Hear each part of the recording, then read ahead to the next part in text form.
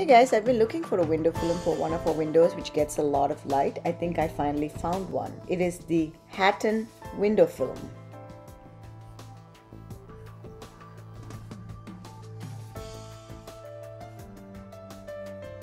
All you need for this is a measuring tape, a scissor, and a spray bottle. So all you do is measure your window first and cut the film to size. Clean your window.